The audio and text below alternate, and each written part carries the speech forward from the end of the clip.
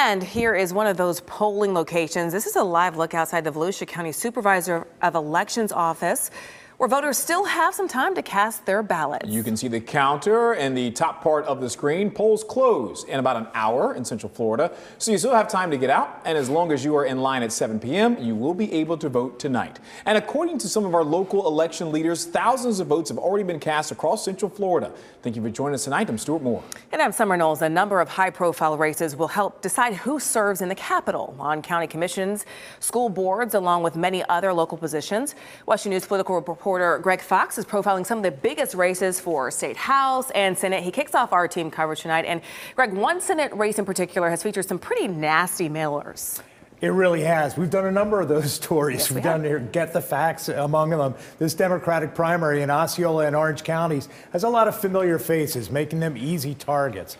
The candidates are State Representative Kristen Arrington, former Congressman Alan Grayson, and Carmen Torres, who is the wife of the outgoing State Senator Victor Torres.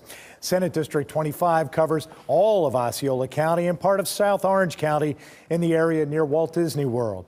Carmen Torres appears to be the one taking the biggest beating in the mailers to voters. They try to portray her as an arm of the Republican Party and backed by lots of GOP money. We called these claims false in our Get the Facts report. Grayson has also been a target of mailers that bring up some of the more painful episodes in the breakup of his first marriage and called into question his investments when he was also serving in Congress. All three joined us for one of our exclusive WESH 2 News debates and talked about their accomplishments.